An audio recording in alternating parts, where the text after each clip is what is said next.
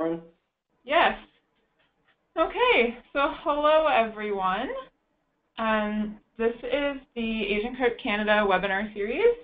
Uh, this is the webinar Confused with Carp, uh, ID and reporting features for Asian carp. And we are joined by Brook Schryer. Hi, everybody. Brooke is the Aquatic Invasive Species Outreach Liaison with the Ontario Federation of Anglers and Hunters. He works for the Invading Species Awareness Program, uh, which handles Asian carp reports, uh, development of Asian carp resources, outreach for boaters and waterfowl hunters, as well as doing the Invading Species Hotline and EDDMapS Ontario. So Brook's going to take you through um, some basic Asian carp information, as well as the most confused with species that gets reported as Asian carp. Uh, so we chose these species because those are the ones that most commonly get reported to the invading species hotline as Asian carp. So we really wanted to make sure that uh, those species get highlighted and hopefully the public kind of understands which species are which and then how to report any species that they might not be sure of or think are Asian carp. So I'll hand it over to Brook to, uh, to take over now. Awesome. Thank you, Lauren. Thanks for joining today, everybody. So as Lauren said, I am going to run through um, confused with carp, so some of the native species that may be identified or may be misidentified as Asian carp uh, by anglers, recreational boaters, people walking along waterways, what have you. So as she said, I, I am the Aquatic Invasive Species Outreach Liaison with the Ontario Federation of Anglers and Hunters and their Invading Species Awareness Program.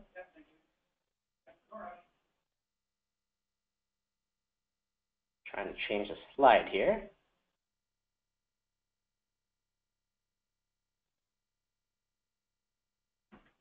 Oh. Sorry guys, one sec. All right, so table of contents for this, uh, for this webinar. So first I'm going to start off with what is the Invading Species Awareness Program? Uh, next we're going to move into a few definitions. Then we are going to look at a little bit, a brief background on the invasion of Asian carp. And then we're going to do a little bit of basic Asian carp identification. And then we're going to focus most of the presentation on Asian carp lookalikes. And then finally there'll be a few slides on how you can report Asian carp. Before I begin, I just wanted to say a special thank you to the Invasive Species Centre for setting this up. More specifically, Lauren Snelly, who is the Asian Carp Project Coordinator, who you just uh, heard speaking. And then finally, the Department of Fisheries and Oceans uh, for really spearheading this whole program. And you know, without their support, this would not be happening today. So who is ISAP? Uh, it's a joint education awareness partnership between the Ontario Federation of Anglers and Hunters and the Ministry of Natural Resources and Forestries, which was established in 1992. It was originally established due to the invasion of zebra mussels into Ontario, and it has since expanded into all invasive species. So its primary focus is on education and outreach for aquatic and terrestrial invasive invertebrates, fish, and plants in Ontario. It also focuses on key pathways from invasive species, introductions, and or spread. We also develop and deliver programs designed to monitor the occurrence and distribution of invasive species, such as EDDMapS, which I'll run you through a little bit later. And then we also contribute towards surveillance, control, and rapid response of invasive species, such as water soldier here in southern Ontario or Asian carps. So our education and outreach. It's focused to prevent the introduction and spread of invasive species to Ontario's waters and woodlands. Uh, these are natural resources which we need to protect. And it also focuses on, primarily on public awareness, and it recognizes the fact that it is key in preventing the introduction and spread of invasive species. After all, the best way to prevent invasive species is to stop it from getting here in the first place. Once they're here, a lot of the time, it's, it's almost it's nearly impossible to, to uh, eradicate them. Our overall goal is to change public perceptions, attitudes, and most importantly, behaviors. So briefly, or quickly, I want to go over a few definitions before we begin uh, to differentiate between alien species and aquatic invasive species. So alien species are those species that were introduced or are non-native to Ontario. So these things are species of plants, animals, and microorganisms introduced by human action outside of their natural past or present distribution. So an example is the Chinook salmon, for example. These things are stocked into the Great Lakes. They're not native here, but they're desired. Uh, they are great for recreational anglers and create an indus industry. So um, they're non-native, but they're desired. Whereas we can contrast this with aquatic invasive species, or AIS. These are fish, animal, and plant species that have been introduced into a new aquatic ecosystem and are having a harmful consequence for the natural resources in the native aquatic ecosystem and or human use of the resource, as well as threats to human health, for example, with the silver carp, which is the one that jumps. Here you see a, a chain pickerel, which is an example of an invasive species. So what are the characteristics that make up a good invader? Well, these are things that were introduced here that have few predators, so they can kind of reproduce and, and kind of thrive without the threat of being preyed upon. They're adaptable, so they can kind of uh, handle warm climate, kind of cooler climate, uh, low food availability or high food availability, etc. They reproduce quickly. They thrive in disturbed systems. Uh, actually, moving back to reproduce quickly, you can think of the round goby, for example.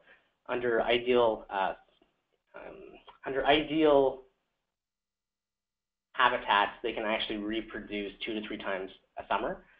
Um, then invasive species, they also thrive in disturbed systems. So, for example, Phragmites, these things that grow along uh, roadways, they're, you know, these things are cut, they're cut down, they're transported all over the place. So, so that's one of those species that can really thrive in disturbed systems.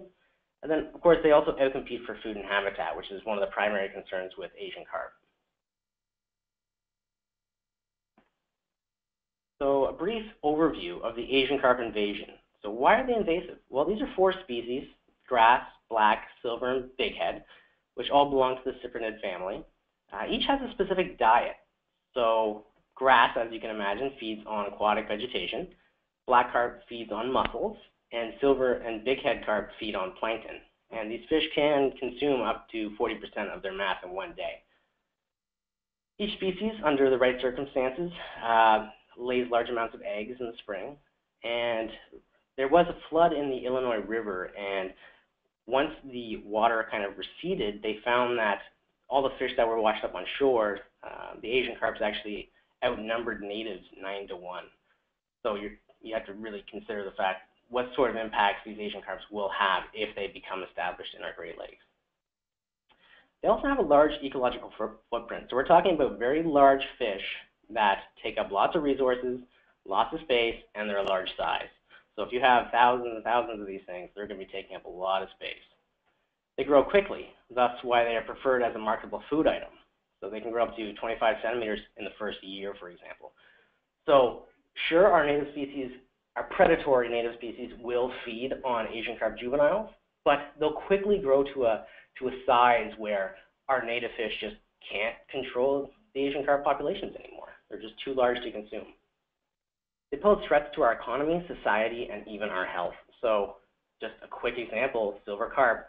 If you're traveling on a Sunday morning with your family on a, in a fast boat and you have a school of silver carp jumping, it's not going to be uh, a good circumstance. So continuing with the Asian carp overview, so these fish were brought to the United States in the 1960s and 70s. The purpose was based on the carp's diet for aquaculture farms. So as I described before, the grass carp was uh, introduced to control aquatic vegetation. The black carp was uh, introduced to control mussels. And then the silver and the bighead were introduced to control plankton levels.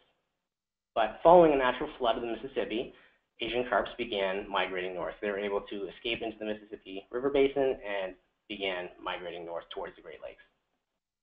However, there was an electrical barrier that was installed in the Chicago Sanitary and Ship Canal in 2002. This was uh, used as a way to prevent the Asian carps from getting into the Great Lakes while also allowing uh, trade and shipment to continue through the, the canal. Now, this is a reminder, and I want to make this very clear. Despite occasional reports of grass carp in the Great Lakes Basin, they are not established in, the, in Canadian waters, nor are the other three Asian carps. So Asian carp identification. So first we're going to begin with the grass carp. So looking at the image in the top left, we will start from left to right. So first thing to notice is its terminal mouth or and pointed snout. So terminal mouth basically means if you were to butt the head of the fish up against a wall, its lower jaw and upper jaw would meet at the exact same point. Um, it has that pointed snout. Uh, its eye placement is very distinct, so it is in the center of its body basically. So if you were to draw a lateral line through the middle of the fish, this eye is under that lateral line. It also has a very distinct scale size. It appears to be cross-hatched, um, and this is one of the, the main distinguishing features that people often notice first in fish when they're uh, calling us to report them. It also has a distinct dorsal fin. Now, what I mean by that is it's distinct when you contrast it with its most common look-alike species, which is the common carp. The common carp, as we'll see in a few minutes, has a very long dorsal fin, whereas the grass carp has a very narrow dorsal fin. So probably in the in the realm of you know between three and five inches, depending on the size of the fish, obviously. It also has a, a distinct round caudal fin, as you can see, which is key for differentiating this fish from some of the native lookalikes, which we'll get into. It's typically large. The fish that have been found in the Great Lakes have ranged from, you know, anywhere from 8 kilograms to 20 kilograms or 30 kilograms. So these are very large fish that we are finding. And they're very typically a green olive in color. It's not always the best to try to identify a fish based on its color because it can vary depending on time of year, uh, water temperatures, diet, etc. But it is important to note that as you can see in the image, it kind of has a green olive color. So reviewing the key characteristics to look out for, eye placement, the dorsal fin, length, and that cross-hatched scale pattern. So where have these suckers been found so far? So they have been found in Lake Ontario, they have been found in Lake Erie. Um, most of these specimens that have been found have been infertile. Um, so they are popping up here and there. There were also reports uh, from the St. Lawrence this year that were caught by commercial fishermen. So the question is, is does this mean that grass carp are established in Canadian waters? Well, the answer is no. But if not, then where are these fish coming from? And that's really the question that we're asking ourselves. And that is why we believe that education and outreach is so important. Because it is possible that it could be recreational anglers who like the idea of being able to fish for these things. Or it could be the food industry, people in the food industry. It could be a number of different people. So right now we're really trying to spread that education and awareness to let people know, hey, this will not be a good thing if these fish get here. Moving on to black carp, this one looks fairly similar to the grass carp in terms of some of its main identifying features. Um, so it has that terminal mouth, just like the grass carp, with that pointed snout. Uh, its eye placement is similar to that of the grass carp, so in the middle of its body along that lateral line. It has a similar scale size and pattern, so again, that cross-hatched pattern. Again, that distinct dorsal fin. Again, I mean that in relation to the common carp. So common carp is long, black carp is narrow, but fairly tall has that round caudal fin, similar to the grass carp. Large size, but narrower body. So the grass carp has a fairly substantial size to it, as you can see in this image, whereas the black carp, it can grow large, as you can see in terms of relating it to a you know, full-grown male, but it has that more sleeker, slimmer body. And in terms of its coloration, it's black to an olive color. So where have these been found? This is from EDMAP, so the Early Detection and Distribution Mapping System. Um, its actual range is larger than what is being shown here, but as you can see, people have reported them from Missouri and Illinois. In terms of the silver carp, this one is quite distinct. It has that upturned protruding mouth, as you can see in both these images here. Its eye placement is the number one thing to look for. So this is a fish who, as some children said at various trade shows, looks like that it's upside down. So most fish have their eye on the top of their head. This is a fish that has its eye below its mouth. So again, if you were to draw that invisible lateral line, its eye is basically below that lateral line. Its scale size is distinct from the other Asian carps because it's much smaller, much smaller scale pattern. And again, distinct dorsal fin when you compare it to For example, the common carp. So common carp has a long dorsal fin. This guy is very narrow. Rounded caudal fin has a deep fork, fairly deep fork here, and a large size and a very deep body. So if you look from here to here, so in this image here, you can see that its body is very deep, and its head is actually fairly large in terms uh, of its proportion to the rest of its body, has will be key in identifying it versus uh, native lookalikes. Now, in terms of its coloration, it's olive on top and quite silver uh, all around. So these are the fish that jump. These are the flying carp. So I've received quite a few reports from people who say they saw a jumping fish. Well, there are many native species that will jump, and that's a thing to keep in mind. So it's quite hard to identify a fish that you saw jumping, let's say 50, 100 feet away. You have a split second to see it. So what you really need to see is you need to kind of get up close to the fish, whether you, you know, caught it incidentally or, you know, it's swimming nearby. You need to be able to see those key features. So that very distinct silver pattern, that short dorsal fin, that eye placement, the eye placement is very key here. So its current distribution is, you know, southern United States all the way up to kind of knocking on the door at the Chicago, uh, Chicago Sanitary Canal. Big head, quite similar to the silver carp in terms of its of its appearance and main characteristics. It has that upturned protruding mouth again. What I mean by protruding is that its lower jaw is actually farther out than its upper jaw. It has that very strange eye placement, which I spoke about with the silver carp very low set on the head and below that lateral line. So if you see a carp that has an eye below the lateral line, you know, that should be a, a siren for you. Has that similar scale size to the silver carp, unlike the grass and black who have larger crosshatch patterns. These guys are much smaller, much finer. It has that, again, distinct dorsal fin, only because it's quite narrow. It's, it's quite small in terms of when you compare it to a common carp, for example, or a big-mouth buffalo carp fish. it has that rounded caudal fin uh, with a deep fork, as you can see down here. Has a large size and deep body. These fish, these fish can grow very large. Um, and then another key distinguishing feature is that blotch pattern on its on its scales, which is unlike that of the silver carp. So key things to look out for eye placement, relative size, scale blotchiness, and then the distinct dorsal fin. So this guy has a very similar distribution uh, alongside the silver carp, southern United States, throughout the Mississippi. It's not really represented here, but, uh, but in Illinois it is knocking on uh, the door to the Great Lakes. So you think that you've encountered an Asian carp in the wild. What are some questions to ask yourself? Well, first one is, what Asian carp do I think I saw? It's, it's really important that you, you kind of put all these pieces together to try to figure out which fish you think you saw. If you saw, you know, an orange colored fish with large scales, but you think it was a big head, well, a big head has very small scales. So it's unlikely that it was a big head. Um, did it have a long or narrow dorsal fin? I think this should be actually number one because most of the time, if you're encountering a fish in the wild, you're probably going to see it breaking the water, breaking the surface of the water. So the main characteristic that you'll be able to identify is most likely the dorsal fin. If there was a narrow dorsal fin and you think it was a large carp, well, then maybe that's concerning. But if you saw, again, an orange color, large scales, long dorsal fin, well, you've probably encountered a common carp. Was it alone or with others? Now, why is this important?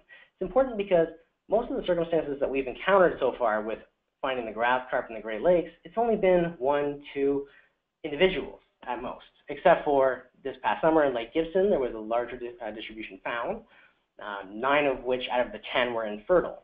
But if you're finding, for example, if you see a large group of fish jumping, it's unlikely that it's silver carp because the chances of there being that many fish in the Great Lakes in a particular spot is fairly unlikely right now. Did I catch it? Did I snag it?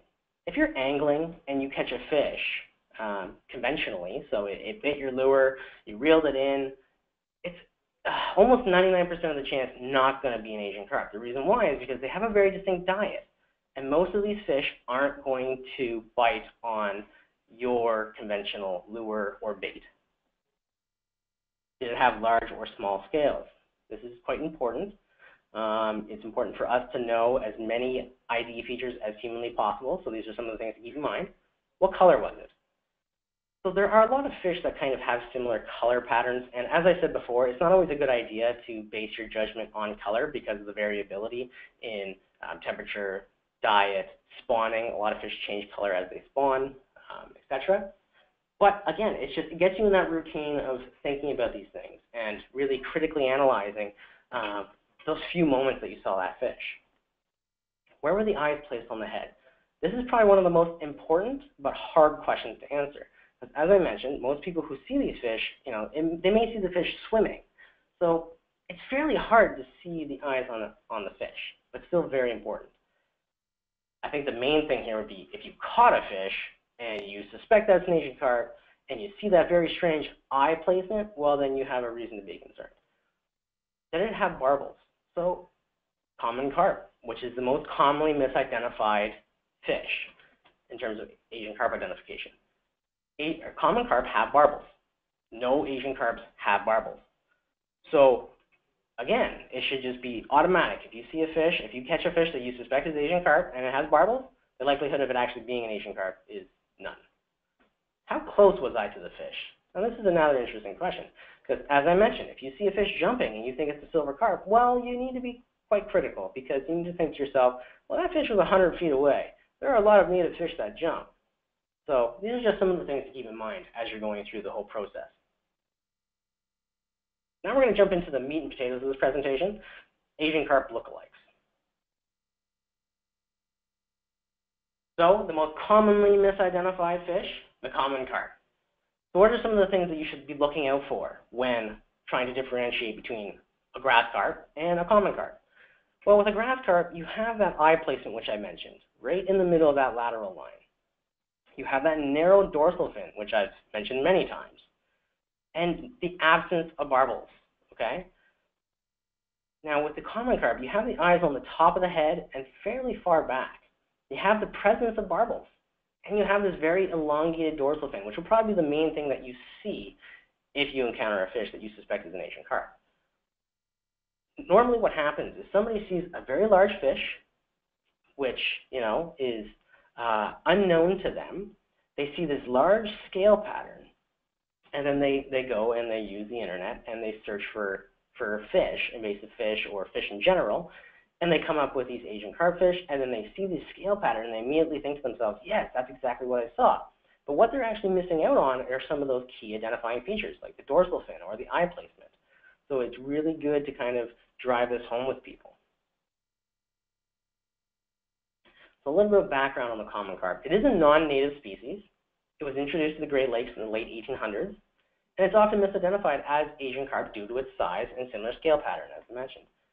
The largest caught in Ontario was 39 inches long, with an average length of 14.6 inches long. So these are fairly large fish, and it's if you don't know much about fish, it's understandable why somebody might think that this is an Asian carp.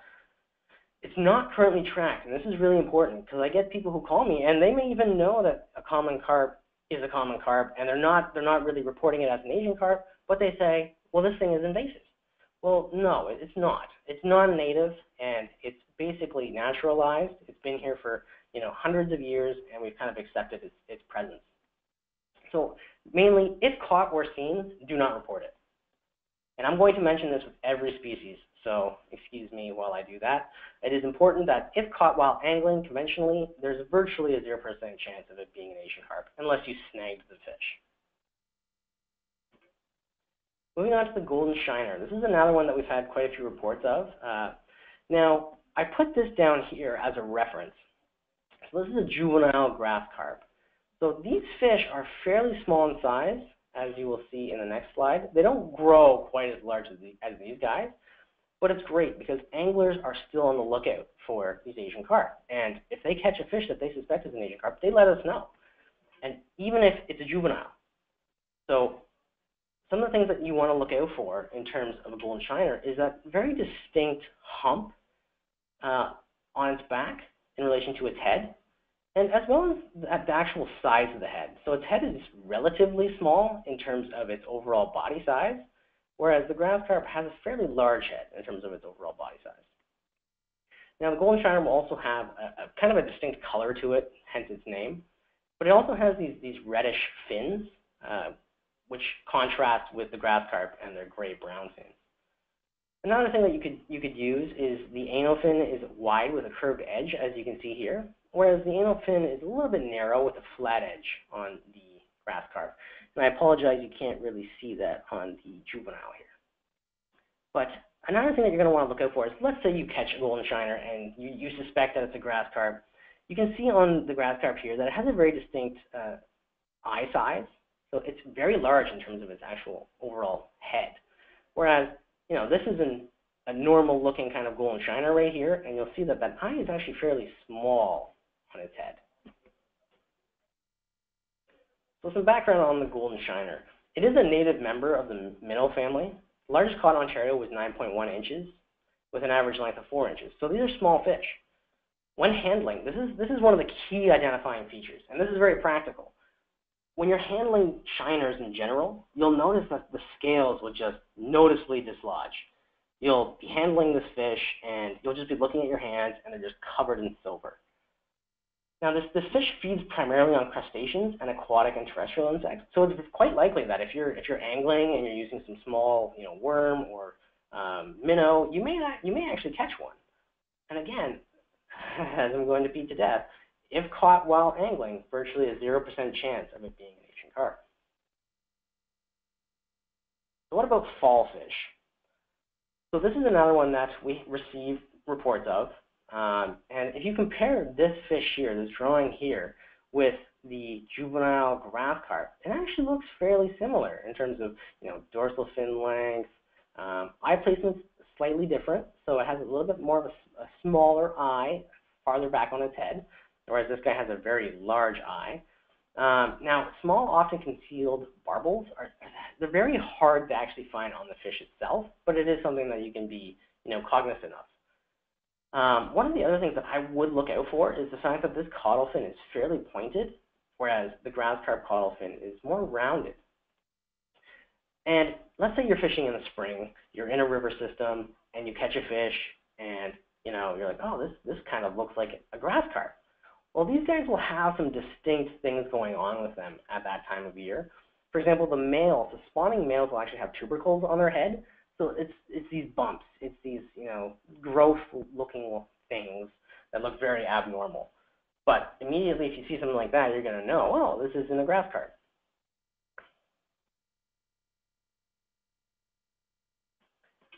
So this fish is native. Uh, it's a native minnow to Ontario, and I just want to point out here that it is found in the St. Lawrence and parts of southern Ontario, uh, which isn't really identified here. Um, so it does travel up here, and uh, most of the reports that we've received have been towards the St. Lawrence. The largest caught in Ontario was 18.5 inches, with an average length of 8 inches. So this is a fairly large minnow. It feeds on aquatic and terrestrial insects, crustaceans, and smaller fishes. So again, gonna beat it to death. If you catch a fish, a fall fish, and you can't ID it and you suspect that it's an Asian carp, well, if you caught it, that should be, uh, you know, a bell right there going off in your head saying, well, I don't think I would be able to actually conventionally catch an Asian carp. Though, that being said, I have heard of various people fishing for grass carp down in the United States, and they use some sort of green streamer to uh, mimic aquatic vegetation, which I don't think many people up here would be doing. Moving on, so we're going to compare the grass carp to creek chub. This is another one we've received quite a few reports of. Um, a, a number one distinguishing feature is that there's no dorsal spot on the grass carp or any of the Asian carps. There's no dorsal spot. Whereas with the chub, they have this dorsal spot which they'll keep throughout their life. Now, when we talk about this blackish stripe running alongside their body, it is true that they have this as juveniles, but as they grow older, this stripe may actually disappear. And that is why it is important to really look for those, those distinguishing features like that dark spot on the dorsal fin. Besides that, um, the males can also develop tubercles um, when they're spawning. And the eye is, you know, it's, it's fairly easy to see that it's above the mouth, whereas with the grass carp, again, it'll be in line with that mouth. So in terms of the chub, uh, it can become a top predator in a water body if no other larger fish species are present. So these things are predatory fish. Now, the largest creek chub caught in Ontario was roughly a foot long with an average length of about four inches. It feeds on a variety of items, including fish, crustaceans, and insects.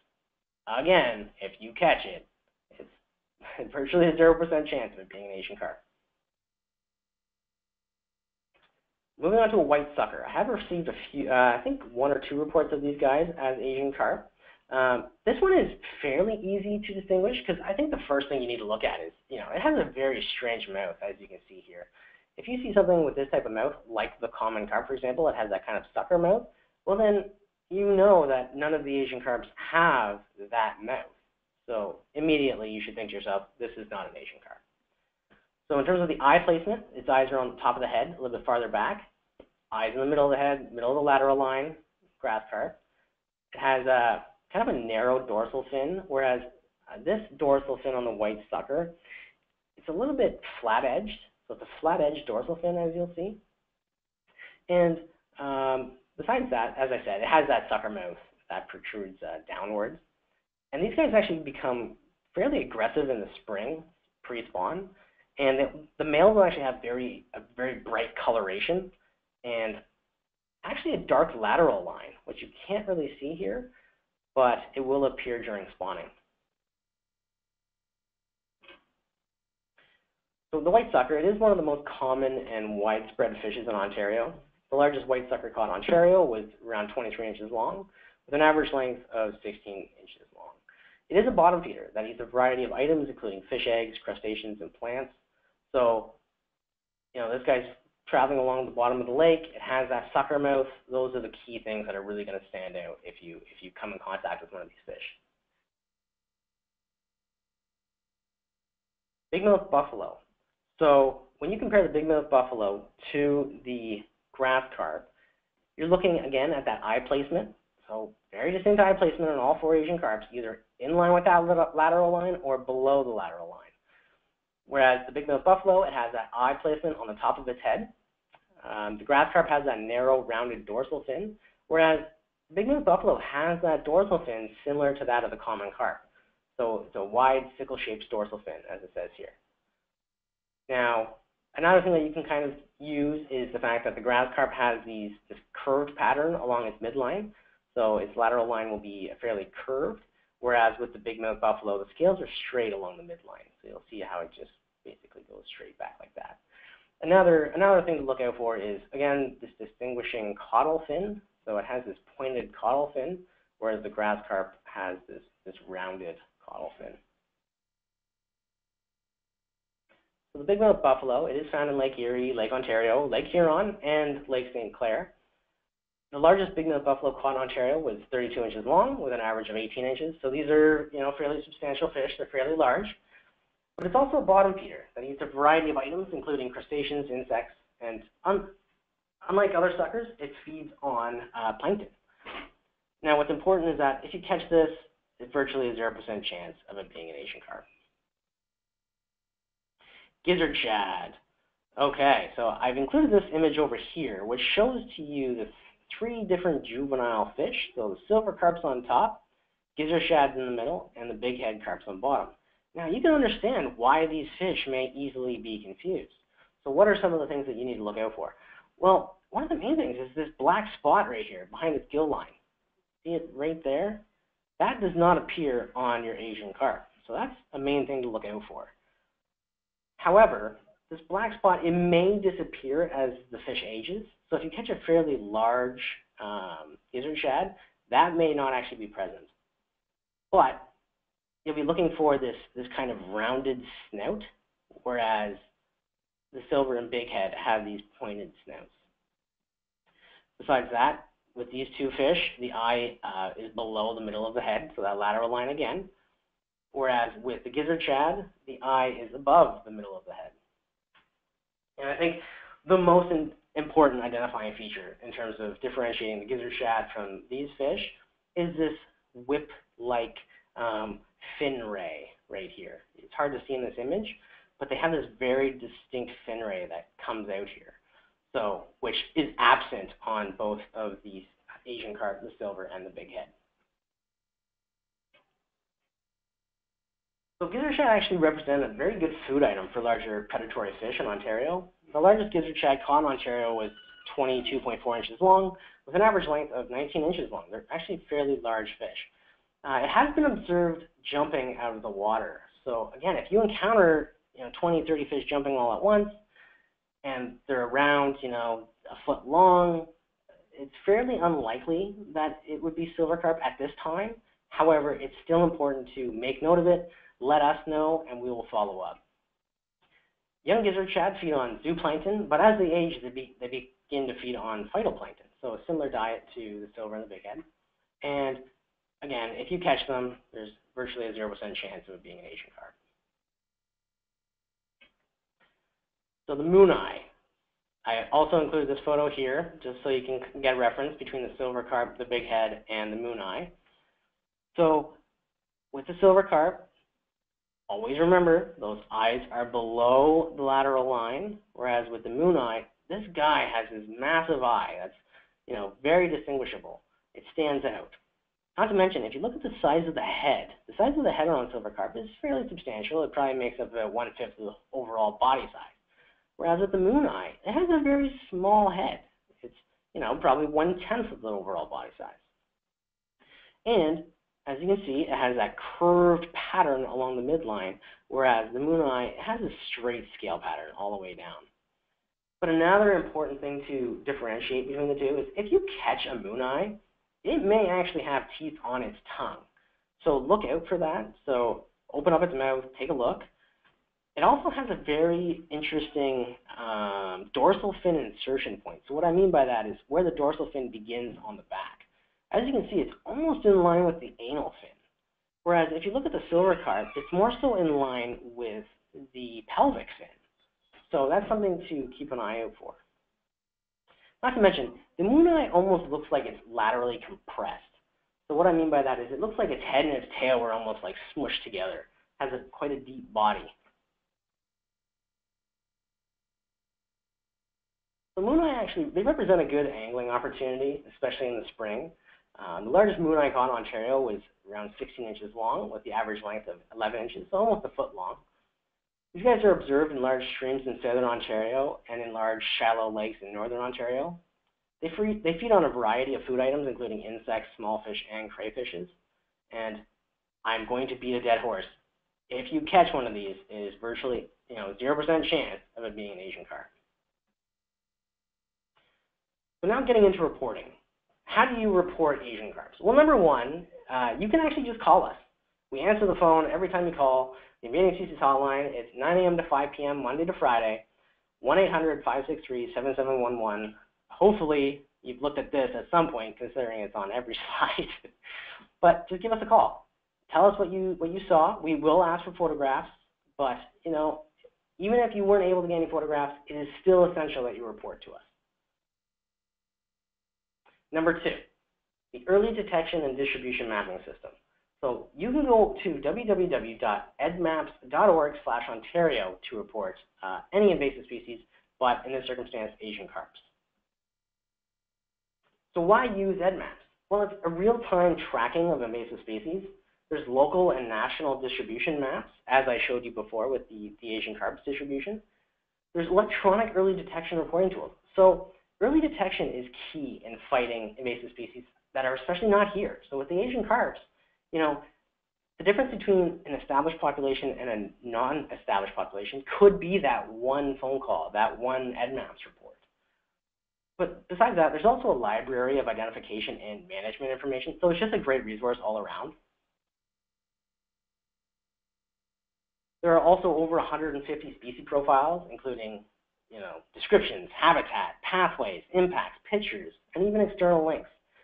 So if you're interested in various invasive species, whether they be terrestrial, forest pests, aquatic plants, aquatic animals, you can go here and get additional information. So how to use EDDMapS? It's fairly simple. You go to the website down below here, and you make a profile. Then you sign in, and then you can start reporting.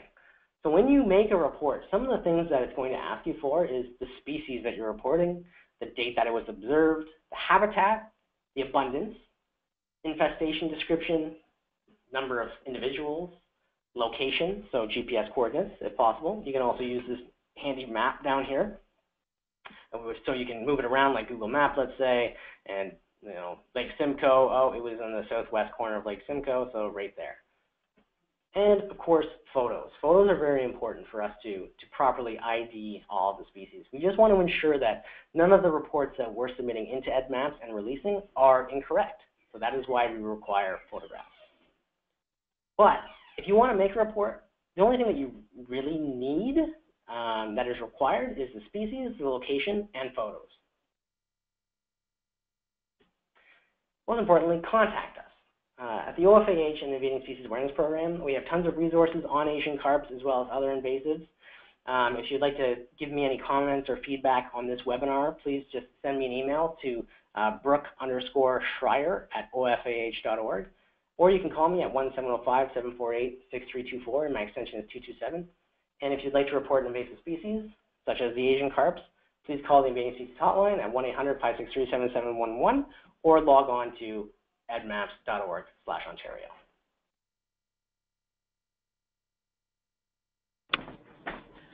Great, thanks Brook. That was an amazing uh, overview of how to identify Asian carp and any potential lookalikes. Um, so if any of you feel the need to uh, learn more about Asian carp or hear what's going on in um, the states for management of Asian carp and what Canada is doing to prevent them, uh, you can come to the Asian Carp Public Forum in Toronto on Monday, October 3rd. It runs all day. Uh, there's still time to register for it. If you go to www.asiancarp.ca, you'll see it right there on our homepage where you can register for the Asian Carp Public Forum. So uh, if anyone has any questions, they can type them into the question box, and I will read them out to Brook.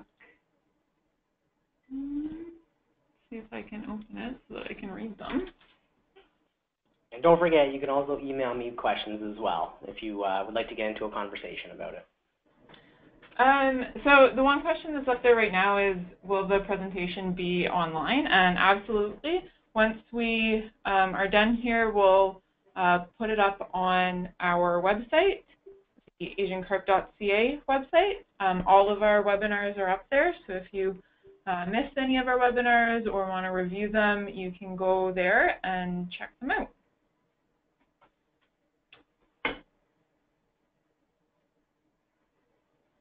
Well, I want to thank everybody who are in attendance for listening.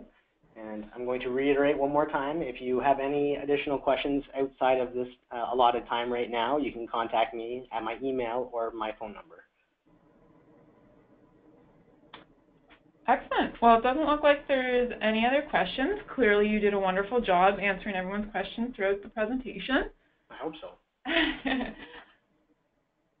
um, so uh, that's it. That's all we have for you guys. Thanks for uh, coming and listening. And thank you, Brook, for spending the time to teach us. No problem at all.